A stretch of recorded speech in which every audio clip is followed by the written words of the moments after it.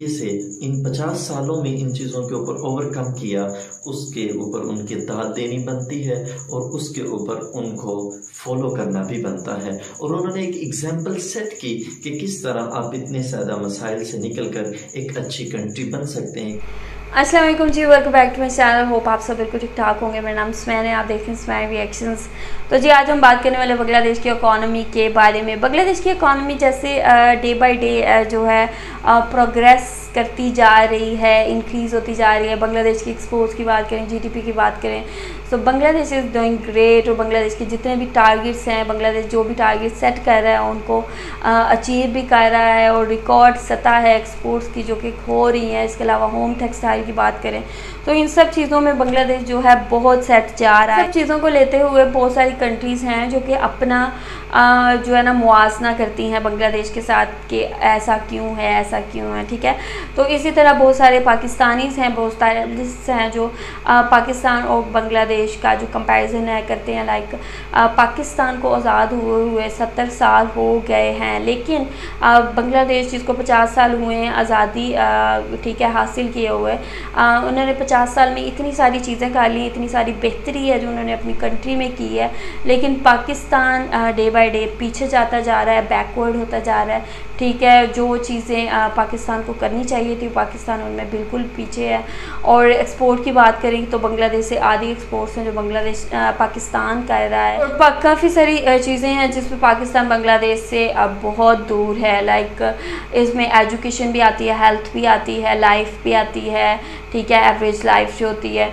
और यहाँ पे जी जीडीपी भी आती है और यार कौन कौन सी चीज़ बताऊँ? एवरीथिंग यार बांग्लादेश ना पाकिस्तान बिल्कुल पीछे है बांग्लादेश से। अभी इसी को लेके ये रिपोर्ट है पाकिस्तानी मीडिया की जानब से इस इस पर बात की जा रही है कि बांग्लादेश किस वजह से आगे है और पाकिस्तान पीछे है ठीक है? आ, ये चीज़ तो आप लोगों में से काफ़ी को पता होगी लेकिन लेट्स सी कि पाकिस्तानी मीडिया क्या कह रहा है उनकी क्या सोच है, इसके बारे में क्या ओपिनियन है। तो बिना टाइम वेस्ट किए ये वीडियो देखते हैं। वीडियो देखने से पहले अगर अब तक आप लोगों ने मेरे चैनल को सब्सक्राइब नहीं किया हो तो मेरे चैनल को जल्दी से सब्सक्राइब कर लें।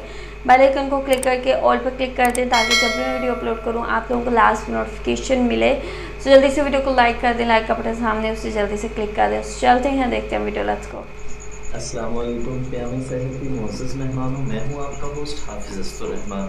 आज के इस सेशन में हम पाकिस्तान की इकोनॉमिक और पॉलिटिकल पॉइंट ऑफ़ व्यू से एक इंतहाई अहम मौजू पर बात करने जा रहे हैं।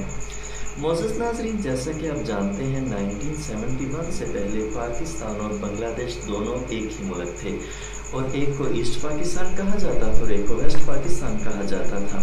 1971 में पाकिस्तान तो पॉलिटिकल डिसहारमनी की वजह से बांग्लादेश को एक अलहदा मुल्क बनने पर मजबूर किया गया।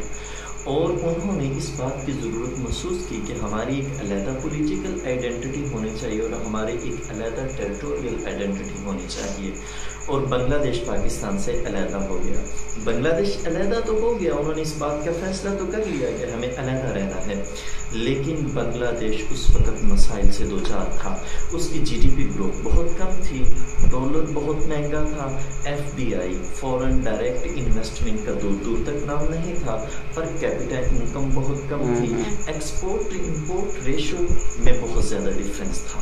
लेकिन बांग्लादेश ने जिस अहसन तरीके से इन पचास सालों में इन चीज़ों के ऊपर ओवरकम किया उसके ऊपर उनकी दाद देनी बनती है और उसके ऊपर उनको फॉलो करना भी बनता. है और उन्होंने एक एग्ज़ाम्पल सेट की कि किस तरह आप इतने ज़्यादा मसाइल से निकल कर एक अच्छी कंट्री बन सकते हैं एक वेल रेप्यूटेड कंट्री बन सकते हैं mm-hmm. अगर मैं थोड़ा सा कंपैरिजन करूँ at the time of Bangladesh independence तो हमें मालूम होगा कि बांग्लादेश की करेंसी उस वक्त बहुत लो थी। डॉलर का रेट बांग्लादेश में थर्टी थ्री टकास था और पाकिस्तान में डॉलर सिर्फ़ तीन रुपए का मिल जाता था। तो बहुत ज़्यादा डिफरेंस है। और उसके अलावा पर कैपिटा इनकम में बहुत ज़्यादा डिफरेंस था। उस वक्त पाकिस्तान में पर कैपिटा इनकम 600 डॉलर थी और बांग्लादेश के अंदर per capita income only 250 dollars थी। वो पाकिस्तान जिसके पास दुनिया की छठी बड़ी फौज मौजूद है। वो पाकिस्तान जिसके पास मैदान भी हैं रेगिस्तान भी है पहाड़ भी हैं सब कुछ मौजूद exactly. है अपनी बंदरगाह भी मौजूद है दुनिया नेचुरल सोर्सेज नहरी निज़ाम मौजूद है पूरी दुनिया के पास ऐसा नहरी निज़ाम मौजूद नहीं जैसा पाकिस्तान exactly. के पास नहरी निज़ाम मौजूद no है doubt. और पाकिस्तान के पास नेचुरल डैम्स हैं जो पूरी दुनिया में किसी के पास नहीं। Hmm. और पाकिस्तान दुनिया में वाहिद कंट्री है जो हाइडल पावर से दुनिया की सस्ती तरीन बिजली बना सकता है।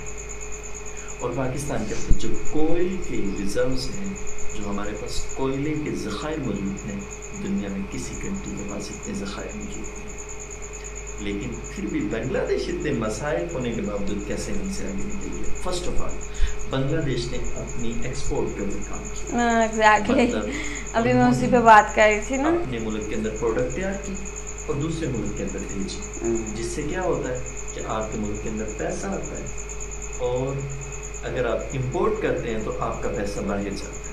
हम इम्पोर्ट करते रहे लेकिन बांग्लादेश ने एक्सपोर्ट किया। हम्म, और उसका. नतीजा क्या निकला? कि 2022 का अगर हम कंपैरिजन करें बांग्लादेश के इस वक्त जो एक्सपोर्ट रिजर्व्स हैं वो 41 बिलियन डॉलर्स हैं और हमारे export reserves only 30 billion dollars पर खड़े हैं। क्योंकि हमने इसके ऊपर तवज्जो ही नहीं। हम्म, हमने इंडस्ट्री लगाई ही नहीं। हमारी इस तरफ़ तवज्जो गई नहीं थी। जो हमारी इंडस्ट्री थी वो भी तबाह हो गई। पाकिस्तान स्टील मिल का हाल देख लें तबाह हो गई। हम उसकी निचकारी के ऊपर मजबूर हैं। वो इस वक्त सब्सिडी लेकर घाटे में जा रही है। यही पाकिस्तान की स्टील में जब इसे रशिया ने पाकिस्तान को लिफ्ट किया था, पाकिस्तान को बना कर दी थी तो ये मुनाफे के अंदर जा रही थी। और इसने सात हज़ार लोगों को एम्प्लॉयमेंट भी दी थी। लेकिन जब ये इंडस्ट्री बंद हो जाएगी तो उन सात हज़ार लोगों का तो फ्यूचर दाव पे लग जाएगा। वो सात हज़ार लोग भी हमारे इस मुआरे के ऊपर बोझ बन जाते। तो बांग्लादेश ने सौ फ्री इंडस्ट्रियल जोन बनाए। मतलब उन्होंने सौ ऐसे जोन बनाए जिसके अंदर आप इंडस्ट्री लगा सकते हैं और इन उस इंडस्ट्री के ऊपर आपको टैक्स नहीं बाहर के जो लोग थे जिनके पास पैसा था उन्होंने बांग्लादेश के अंदर पैसा लगाया। हम्म, हम्म, उन्होंने वहाँ पे इंडस्ट्री लगाई और बांग्लादेश की जो प्रोडक्ट थी वो बूस्ट कर गई उसका नतीजा क्या हुआ? एट मिलियन लोगों को एम्प्लॉयमेंट मिली। एट मिलियन लोगों को बांग्लादेश ने गुर्बत की लकीर से ऊपर उठाया। और फ्री इंडस्ट्रियल जोन का क्या फ़ायदा. हुआ कि बांग्लादेश अब गवर्नमेंट एक्सपोर्ट्स के अंदर दुनिया में दूसरे नंबर का गया राइट यानी कि इस वक्त बांग्लादेश गारमेंट एक्सपोर्ट के अंदर सिर्फ़ चाइना से पीछे है। उसकी गारमेंट्स पूरे यूरोप के अंदर UK USA Canada Germany France सब में फरोख्त हो रही है। महँगे दामों बेचता है। और वो पैसा अपनी कंट्री के अंदर लेकर आ रहा है उसके लोगों को फ़ायदा हो रहा है। थर्ड इसका ये फ़ायदा हुआ कि पर कैपिटा इनकम बढ़ गई। लोगों की पर कैपिटा इनकम बढ़ी। और आज अगर हम देखें तो बांग्लादेश के अंदर लोगों की पर कैपिटा इनकम 1800 डॉलर है। 1800 डॉलर पर कैपिटा इनकम 1800 नहीं है। पर कैपिटा इनकम यार। 1800 डॉलर से। और बांग्लादेश अब ट्वेंटी है जिससे क्या 200 होगा से भी ज़्यादा है या बांग्लादेश के 2300 से ज़्यादा है? है ना? ये गलत बता रहा है। थर्ड बांग्लादेश ने क्या किया? अपने इंडिपेंडेंस के फ़ौरन बाद क्योंकि वो एक एग्रीकल्चर रिलायंस कंट्री थी। अपनी एग्रीकल्चर के ऊपर उनका इन्हिसार था तो उन्होंने अपने एग्रीकल्चर सेक्टर के ऊपर बहुत ज़्यादा तवज्जो दी जो कि हम अपना एग्रीकल्चर सेक्टर तबाह कर चुके हैं। आप देखें किसानों को खाद नहीं मिलती। किसानों को उनकी फ़सल के पूरे रेट नहीं मिलते राइट राइट लेकिन बांग्लादेश ने क्या किया? उसने चाइना इंडिया से अच्छी खादें और बीज को इम्पोर्ट किया और अपने लोगों को उसको सस्ते दामों में दिया। उसका फ़ायदा ये हुआ कि उनका एग्रीकल्चर सेक्टर बूस्ट कर गया और वो अपने एग्रीकल्चर के मामले के अंदर इंडिपेंडेंट हो गए। उन्होंने दूसरों पर इंसार करना छोड़ दिया और आज ये हुआ कि बांग्लादेश जो लोगों के आगे हाथ फैलाता था कि हमें गंदम दे दे हमें चावल दे दे आज वही बांग्लादेश दुनिया को चावल और गंदम एक्सपोर्ट कर रहा है। लेकिन हम इस वक्त गंदम के मामले के ऊपर कभी रूस जा रहे हैं। सपोर्ट नहीं कर रहा यार ये गलत बता रहा है इधर भी। तो ठीक है। यहाँ चलो यार, इसने बताया। कमी कहाँ थी कहाँ पे हमने गलतियाँ की? क्या इसकी सबसे बड़ी वजह वो न्यूट्रल्स तो नहीं जो हर मामले के ऊपर न्यूट्रल हो जाते हैं और पाकिस्तान का बजट खा जाते हैं। एग्जैक्टली इस वक्त हमारे न्यूट्रल्स का बजट सिर्फ़ 1550 बिलियन रुपीस है और बाकी हमारे लिए तलीम के लिए बचा आठ बिलियन रुपीज़ और हमारी सेहत के लिए भी यही हाल है।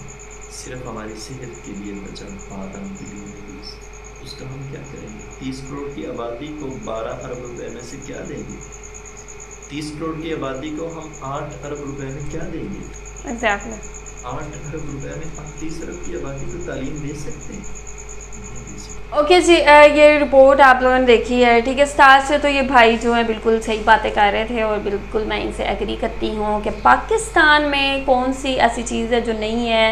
पाकिस्तान में नेचुरल सोर्सेज हैं, कोयला है, पानी है, नहरें हैं, और काफ़ी अच्छा निज़ाम है जो पाकिस्तान के पास है। नेचुरल सोर्सेज हैं ठीक है, कुदरती ज़ख़ायर हैं जो कि बहुत ज़्यादा हैं, ठीक है। तो अगर इन सब चीज़ों को देखें तो पाकिस्तान के पास किसी चीज़ की कमी नहीं है, लेकिन सब चीज़ों के बावजूद बांग्लादेश ने किस तरह अपने आप को इम्प्रूव किया और आगे ले के आया और दुनिया में दिखाया उसने कि बांग्लादेश भी कोई मुल्क है। और आज बहुत से लोग जो हैं पाकिस्तान को शायद पुअर समझते हो, लेकिन बांग्लादेश की जो कामयाबी की दास्तान है, उनको पता चल गई होगी। और पदमा ब्रिज की जो इनाग्रेशन है, उसके बाद जो है बांग्लादेश की और भी ज़्यादा जो अप्रिसिएशन है, वो रिसीव हो रही है। पाकिस्तान इतना पीछे क्यों है? वो उसके पीछे ये वजह भी है जो इन्होंने कही कि एक्सपोर्ट जो है बांग्लादेश की बहुत आगे हैं। जबकि पाकिस्तान की जो एक्सपोर्ट्स हैं, वो बहुत कम है, बांग्लादेश से आधी हैं। ठीक है, बांग्लादेश से बहुत पीछे पाकिस्तान रह गया है। बांग्लादेश की जो लाइफ एक्सपेक्टेंसी है, वो बहुत बेहतर है। लाइक यहाँ पे इन्होंने पर कैपिटा थोड़ा सा ठीक है, कम बताया। लेकिन आई थिंक इन्होंने कोई ओल्ड फिगर है जो उठा के तो इन्होंने बता दी है। आई डोंट नो इन्हें सही से सर्च क्यों नहीं की, ठीक है? क्योंकि बांग्लादेश का पर कैपिटा इंडिया से भी ज़्यादा है। ठीक है और साथ ही यहाँ पे अभी ये वीट की बात कर रहे थे कि वीट बांग्लादेश एक्सपोर्ट करता है। जबकि ऐसा नहीं है बांग्लादेश जो लिमिटेड वीट है वो एक्स ठीक है वो उगाता है जो कि सिर्फ़ और सिर्फ़ बांग्लादेश के अंदर ही यूज़ होती है। इतनी वीट नहीं होती कि उसको एक्सपोर्ट किया जाए ठीक है। वेल well, ये कह सकते हैं कि बांग्लादेश ने एग्रीकल्चर को लेकर काफ़ी अच्छा काम किया है और उसमें काफ़ी बेहतरी आई है ठीक है। लाइक फलों को देख लें या सब्जियों को देख लें काफ़ी इम्प्रूवमेंट है जो हम देख सकते हैं। लाइक स्पेशली यहाँ पे मैं एक और वजह जो पाकिस्तान के पीछे रहने की वजह है, वो है यहाँ के हुक्मरान करप्ट हुक्मरान। लाइक मुझे अक्सर ही लोग कहते हैं कि बांग्लादेश के जो पॉलिटिशियंस हैं, वो बहुत ज़्यादा करप्शन करते हैं, ये करते हैं, वो करते हैं। लाइक मैं कहती हूँ वो जितने भी करप्शन करते हों, पाकिस्तान से बहुत बेहतर हैं। पाकिस्तान के जो लीडर्स हैं, उनसे बहुत बेहतर हैं। लाइक यहाँ पे पहली बार पाकिस्तान में हुआ था कि तीस साल बाद इन जो ठीक है कॉन्टीन्यूसली ये कुछ ख़ानदान थे जो पाकिस्तान पर मसलत हुए हुए थे। इमरान खान आया और फिर रजीम चेंज ऑपरेशन के तहत उसको हटा दिया गया और वापस वही जो ठीक है, पुराने दो नंबर लोग हैं, वो वापस आ गए। सो so, ऐसी सिचुएशन में जब बहुत ज़्यादा करप्शन हो रही हो हर तरफ़ ठीक है उसका लूट मार का बाज़ार गर्म हो तो ऐसी सिचुएशन में तरक्की करना बहुत कम पॉसिबिलिटी नज़र आती है। तो यहाँ पे सारा का सारा जो ठीक है, मुद्दा है, मैं इस पर इन पे डालूँगी पॉलिटिशियंस पे, जिनका बेसिकली ये काम है। और ये लोग अपना बिज़नेस चमकाने के लिए पाकिस्तान की सियासत में हिस्सा लेते हैं। अपने बिज़नेस चमकाते हैं, अपनी जायदादें दौलतें जो हैं फ़ॉरेन कंट्रीज़ में बनाते हैं और यहाँ से चले जाते हैं। सो बेसिकली यहाँ पे सबसे बड़ी वजह ये है। और अगर बांग्लादेश की बात करूँ तो बांग्लादेश बहुत बेहतर है। शेख हसीना ने जिस डिटर्मिनेशन के साथ काम किया है, आज हम उसको देखें तो ज़ाहिर सी बात है उनको अप्रिशिएट करना बनता है। वेल well, आप लोगों का क्या कहना है इसके बारे में? आप लोगों ने लास्ट में बताना है कॉमेंट सेक्शन में। वीडियो को लास्ट भी लाइक करना है लाइक का बटन सामने उसे जल्दी से क्लिक कर दें। वीडियो को लास्ट भी शेयर करना है। अपने फ्रेंड्स और फैमिली के साथ मेरे चैनल को सब्सक्राइब नहीं किया हुआ तो मेरे चैनल को जल्दी से सब्सक्राइब कर लें बेल आइकन को क्लिक करके ऑल पे क्लिक कर दें ताकि जब भी वीडियो अपलोड करूँ आप लोगों को लास्ट में नोटिफिकेशन मिले। अगर आप लोग मुझे फॉलो करना चाहते हैं तो आप मुझे इंस्टाग्राम और फेसबुक का पेज है वहाँ पर जाकर मुझे फॉलो कर सकते हैं। See you guys till then अल्लाह हाफिज़. बाय